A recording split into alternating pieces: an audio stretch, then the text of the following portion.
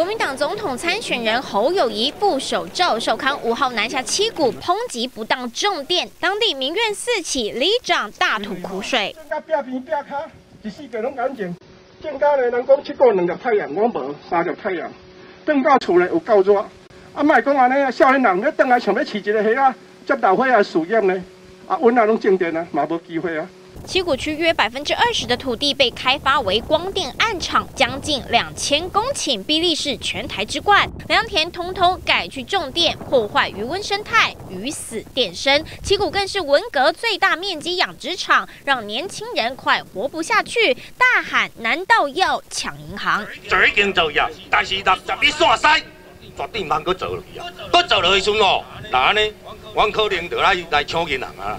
光电设置罔顾农渔民生计，侯友谊、赵少康一起签下反不当重电联署，承诺要重新盘点重电问题。有电无鱼，有鱼无电的哈，根本不是共生。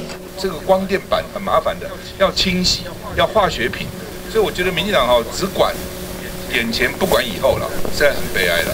光电完全没有考虑到农渔民的生计，热岛光害。